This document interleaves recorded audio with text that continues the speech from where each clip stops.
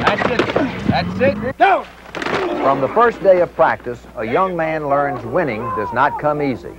He learns that courage and determination and hard work pave the road to success. Hi, I'm Vince Dooley, head coach of the University of Georgia and president of the American Football Coaches Association. Each year we see thousands of college football players striving to be the best. A select few of them possess the ability to rise above the rest, both on the field and in the classroom. These special young men have been selected by the coaches as the finest college football players in America, the 1985 All-American Football Team.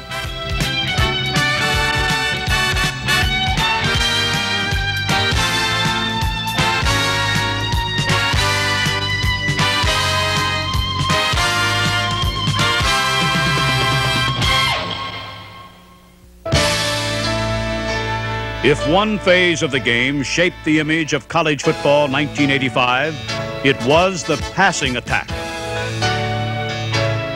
Hefty mobile blockers, skilled rifle arm quarterbacks,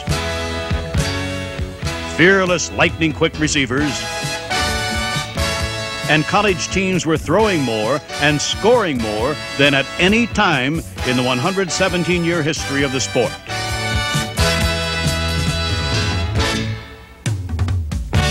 At Tennessee, senior wide receiver Tim McGee has caught more passes for more yards in his career than any player in volunteer history.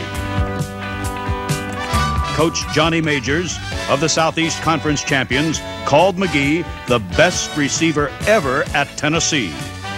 His uncanny ability to get open has earned him Tennessee's all-time single-season reception record and made Tim McGee the coach's choice as an All American wide receiver.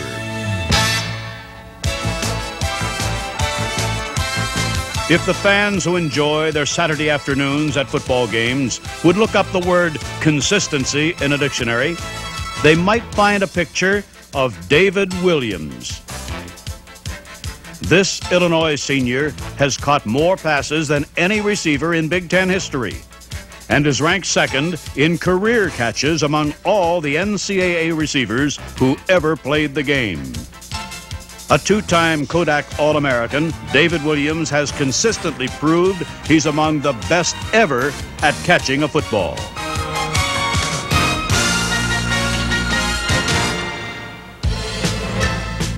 At tight end, the coaches selected six foot two inch Willie Smith of Miami.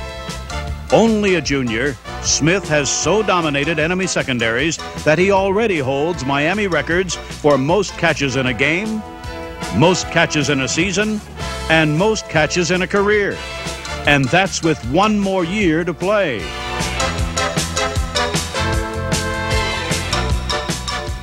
Smith joins Williams and McGee as All American receivers. And with today's emphasis on throwing, each is the top pass catcher in his school's history.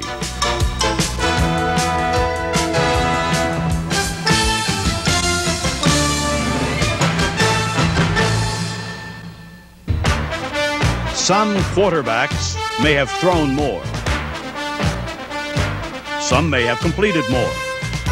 But few have won more this year than Iowa's Chuck Long.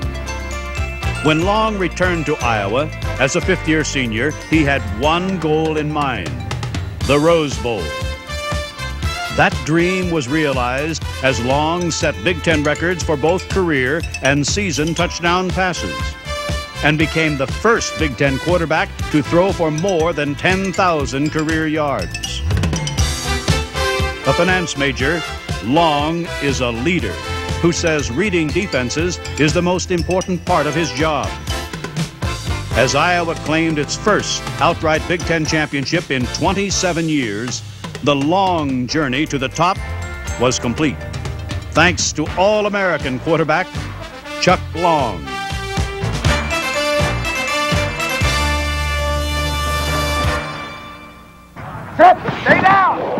The fast better! The skills that produce all American offensive linemen are refined here on the practice field. I wouldn't even step up. Step flat. Not back, flat. All right? In other words, I'd be right here and up. Yeah? Knock him back, Steve. Knock him back. It's a fresh air don't get to classroom, and the instructors are in and come determined their students get it right. You got me?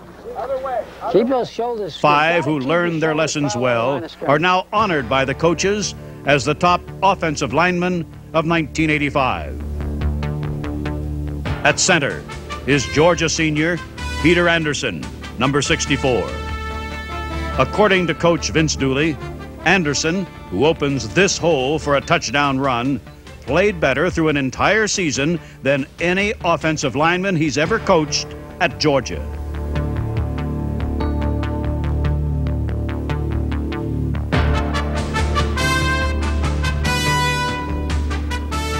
The tradition of outstanding offensive linemen at Southern Cal continues with a six foot, four inch mountain named Jeff Bregel.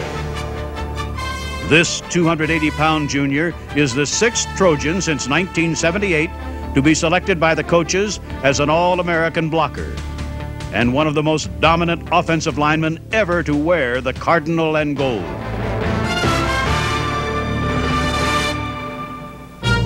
A football heritage has been revitalized in upstate New York, where a switch to the wishbone offense put Army among the most devastating running teams in America. Senior guard Don Smith, a Dean's List student every semester since his arrival at West Point, has built his football ability upon the pride and discipline gained at the academy. The pride you learn here and the discipline you learn here carries over into your football endeavors. And in turn, what you learn on the football field carries over into what, what you do in the classroom and what you do militarily. Now, there's, there's no one thing that influences directly the other. I think they both complement each other, and uh, in doing so, make me a stronger person all, all the way around.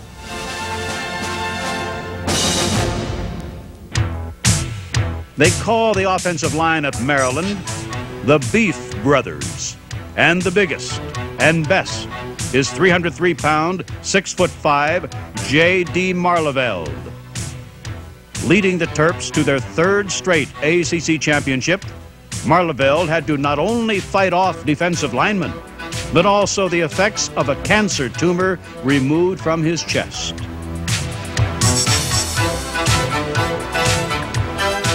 An inner determination to succeed in spite of that severe setback has carried J.D. Maarleveld to the top in college football.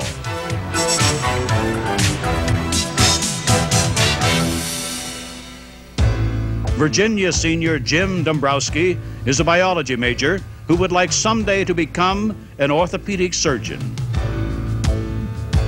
Whether firing off the line or pulling to escort a runner upfield, Jim Dombrowski, a man who loves to block, rounds out the coach's All American offensive line.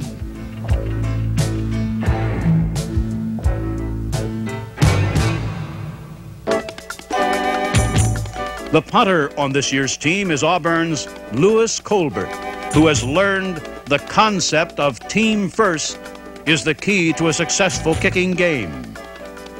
You have to be uh, unselfish to be a punter because uh, anyone could go out there and kick the ball in the end zone. Um, you have to have a lot of self-discipline to uh, give up the extra five, ten yards, whatever it is, to kick a coffin corner.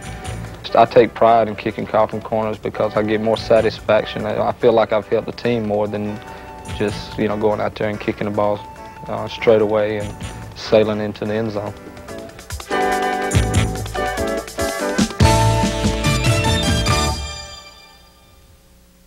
All of the players you are watching in this film have been studied many times by many coaches. Let me show you how we do it. Okay, just take a look at a slide pro. Each coach spends hundreds of hours analyzing future opponents and grading his own players. We look at them again and again, and by the time we've evaluated thousands of miles of film, we have a pretty good idea of which players are deserving of All-American recognition. Quarterback directs action back towards the lead halfback. Selected by the coaches, these are truly the finest college football players in America. Not only one of the finest college football players in America, but one of the finest college students in America is Syracuse defensive tackle Tim Green, a National Football Foundation Scholar Athlete, a Rhodes Scholar candidate, and a senior with a major in English literature. Green's reading habits are varied and somewhat unusual. Well, I tend to uh, go towards the epics. I like um, Virgil and Homer, Milton. Um, but if I'm just going to sit down and, and read something, I'll usually pick up a Hemingway, or if I really want to get low budget, I'll pick up a Robert Ludlum. On Saturdays, his style is to pick up the man with the ball, whether it's a quarterback or a tailback.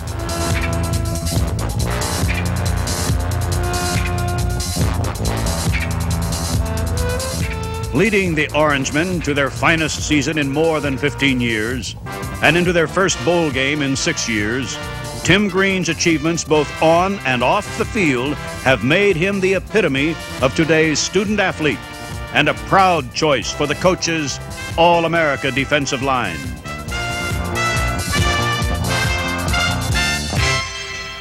At Michigan, number 66 is the Hammer.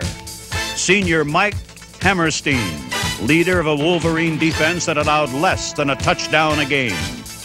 A menacing force, Hammerstein's quickness found him in enemy backfields often before anyone knew he was coming.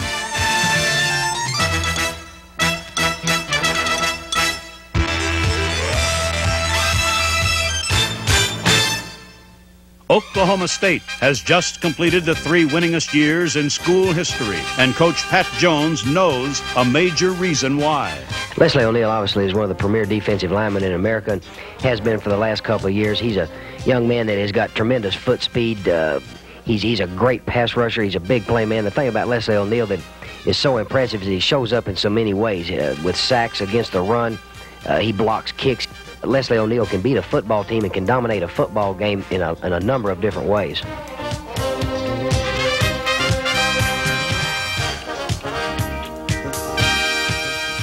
For the 17th consecutive year, Nebraska has won nine or more games. And players like Jim Skow, number 96, perpetuate that astounding success. Skow owns the school record for tackles behind the line was named weightlifter of the year by his teammates and is one of the top defensive linemen in college football.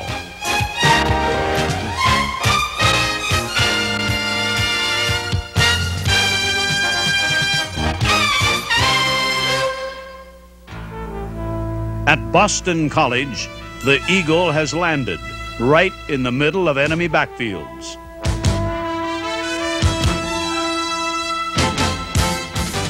The Eagle, with the python-like arms, is Mike Ruth, who can bench press 580 pounds and who teammates call the Sultan of Sack.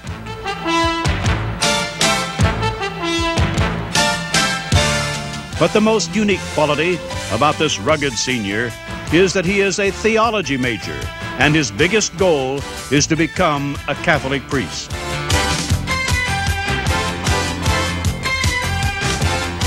Mike Ruth may not be the biggest, but he's among the strongest members of the All American defensive line.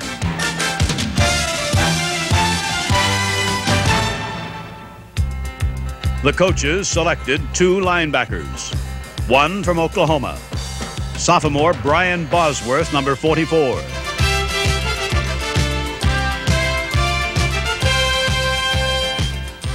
Bosworth possesses the perfect credentials for a linebacker the strength to take on a blocker head to head, then make the tackle, and the speed to follow the flow and dive at the ball carrier. A defensive standout in Oklahoma's Orange Bowl clinching win over Nebraska, Brian Bosworth, All American linebacker.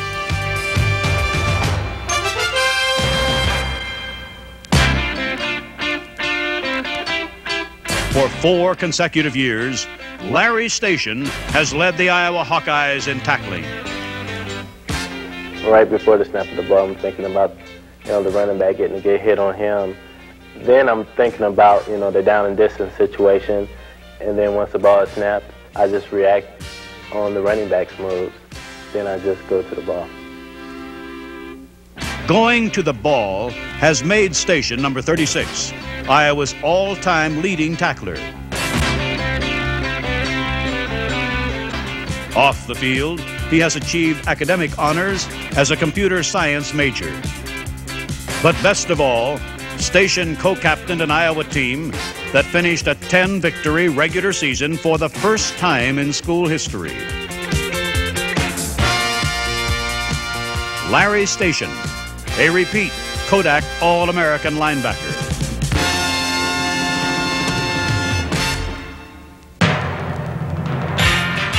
Down linemen, linebackers, and now the secondary all share one common desire to keep football a contact sport.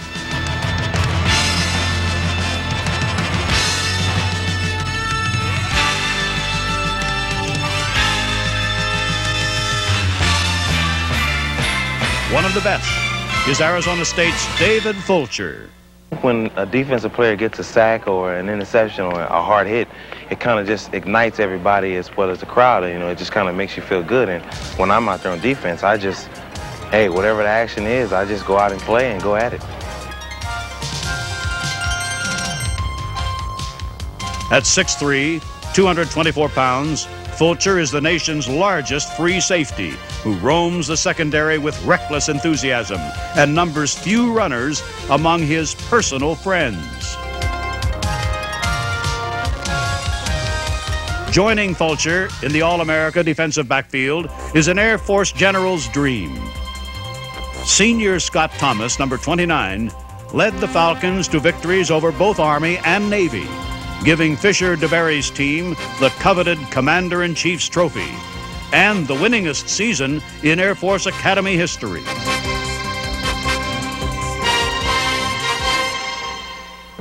The captain of Bo Schembechler's relentless Michigan defense, number 30, Brad Cochran.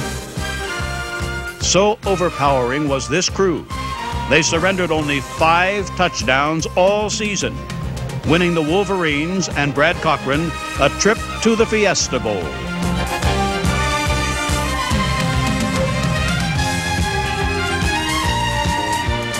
He's only 5'9", but his coach, Grant Teaff, calls him the best defensive back he's ever coached at Baylor. His name is Thomas Everett, and after switching from running back to the secondary, he has buried opponents with his aggressive tackling. Once again, the coaches All American secondary David Fulcher of Arizona State, Scott Thomas of Air Force, Brad Cochran of Michigan, and Baylor's Thomas Everett.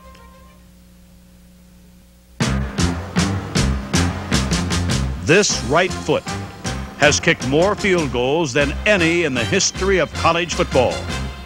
It belongs to UCLA's John Lee, who played Little League Baseball growing up in Seoul, Korea, and had not touched a football until his family moved to California.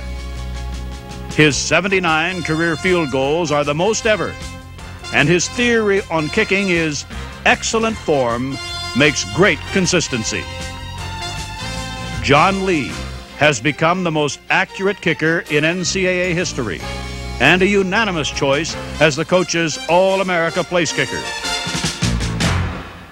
Over the years, the color and pageantry of college football has become as much a part of the game as the passing and running. In 1985, the fanatic followers of the sport cheered a great many exciting, long distance runners. One of them is number 34, a burst of speed from Michigan State named Lorenzo White. It is rare for a sophomore runner to be selected by the coaches, but so astonishing were his accomplishments in both good weather and bad that he could not be overlooked.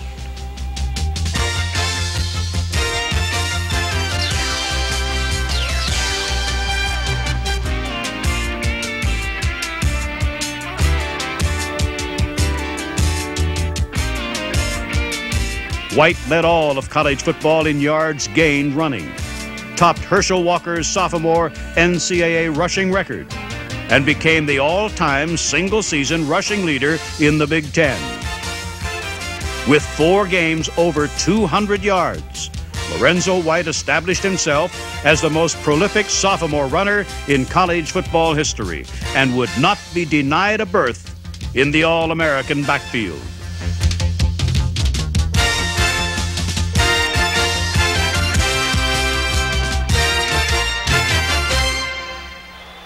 At Auburn, the offense became what they called the die eye. And Saturdays became more than ever the Bo Show. At the Auburn 48, to left, a pitch to Bo Jackson, sweeping left. He's hit in the backfield, shrugged off a tackle, runs the tackle, 45 20, 35 30, 25 20. Bo's got one man to beat. He dodges him at the 10 to the 5. Touchdown, Auburn! Bo Jackson right there, Jim. What a great run, Bo Jackson. 53 yards. Middleton lines up on the left wing. Here is the pitch to Bo Jackson, tries to sweep outside.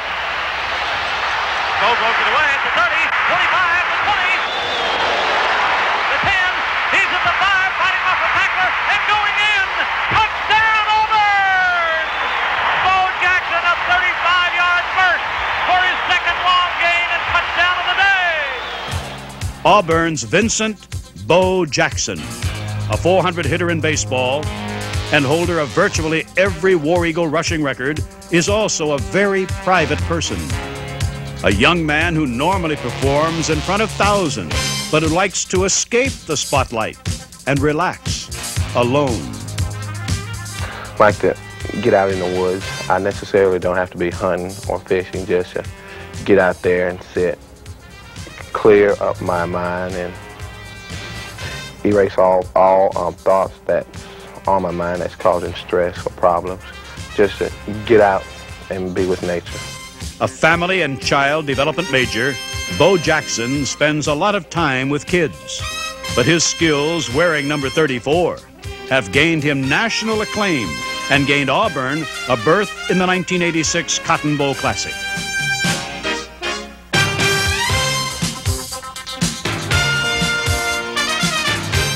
Senior Bo Jackson joins sophomore Lorenzo White, two exceptional runners topping off the coach's 1985 All America football team.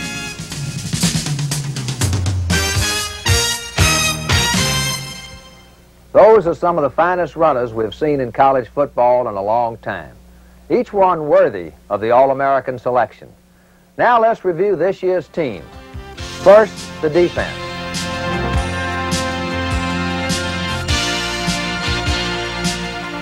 And the offense.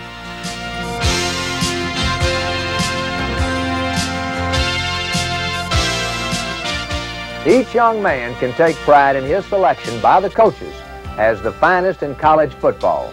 Each player is truly an All-American.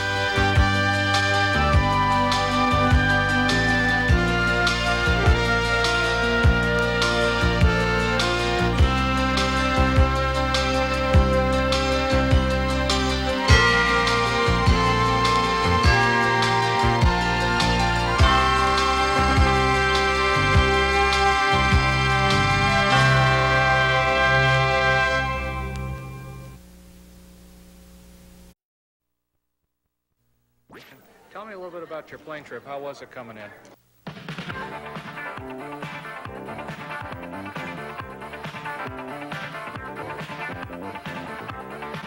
Tim Green, what does it mean to you being chosen to the 1985 Kodak All-America football team? I think like any kid growing up in America that's a football player, you dream of being a college football American. And uh, certainly the Kodak football All American team is, is probably the most prestigious.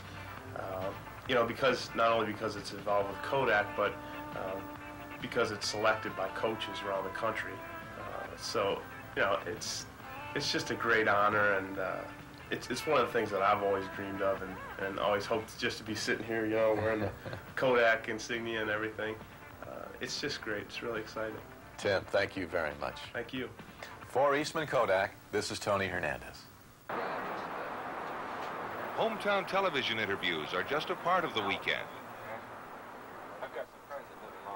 There are many quiet moments to meet and get to know special guests and other members of the squad. And an opportunity to sit for that much dreamed of Kodak portrait, the picture of achievement that shows the world you are one of the finest college football players in the country. Okay, now same thing. Just just move everything just about. Yeah, that's good right there. Perfect. Here we go. Good. Together in uniform, these splendid athletes share the pride of their selection. For they shall now be shown as one, a team. With pictures and interviews, the schedule is full, but the All-Americans enjoy an opportunity to spend time with their peers and the children of Kodak customers who look upon these super athletes as their heroes.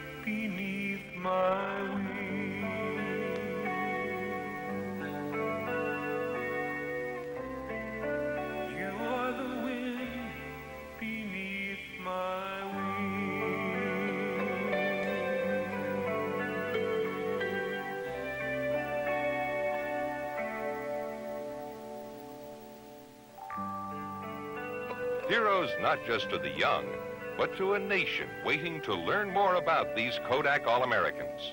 Sports Look, the show that goes beyond the scores and headlines of the sports world.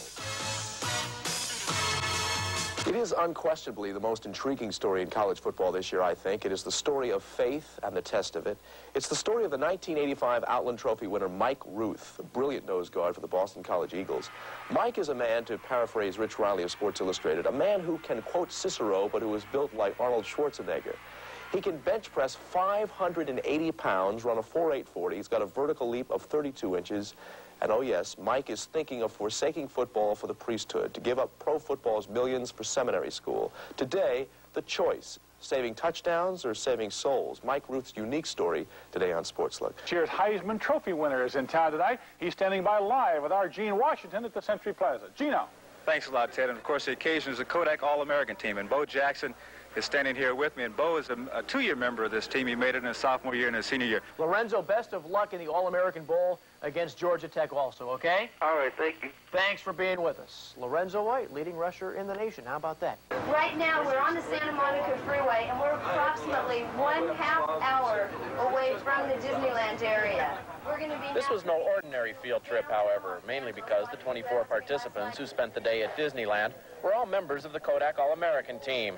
Led by Heisman Trophy winner Bo Jackson and Outland Trophy recipient Mike Ruth, for all of them, the time they spent in the land of fantasy was a reward for a job well done.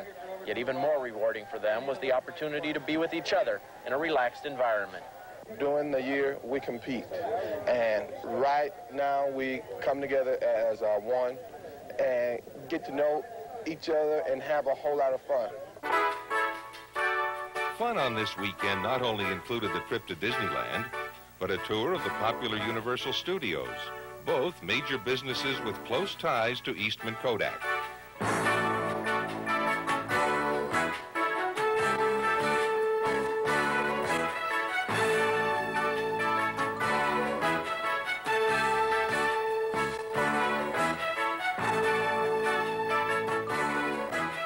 The culmination of this superb weekend was an awards banquet and movie which served as a tribute to these All-Americans. We'll start with the sometimes unsung heroes, the defensive team. First, the defensive linemen, the men who stand in those trenches. From Syracuse, Tim Green. Tim?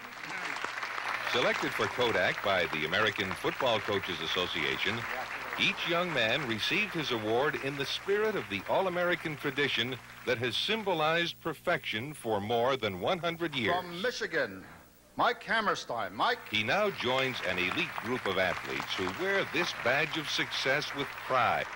From Oklahoma State, Leslie O'Neill. Leslie?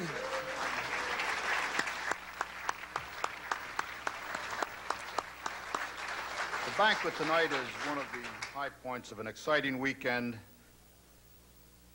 And yet the highlights of what these men have accomplished are too important and too exciting to be forgotten. We at Kodak think that these accomplishments are exactly the right subjects for a movie, and we have that movie here for you tonight. This is a premiere showing of the 1985 All-American Team movie.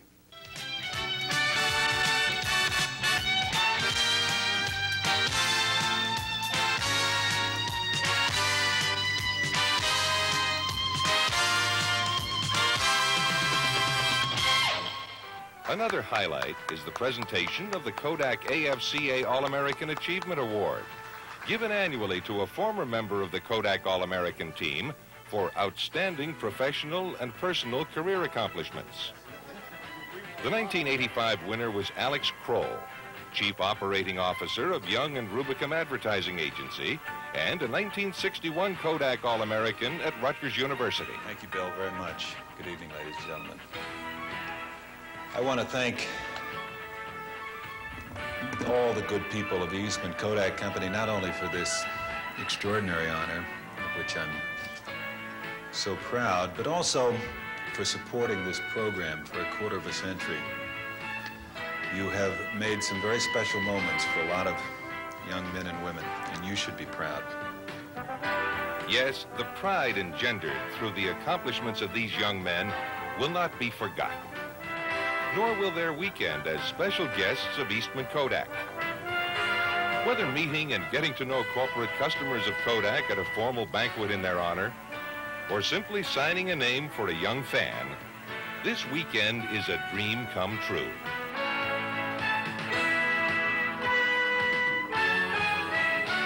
Many hours of Kodak planning make it all happen successfully.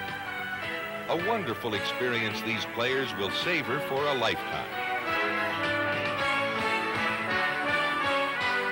This is their reward for excellence.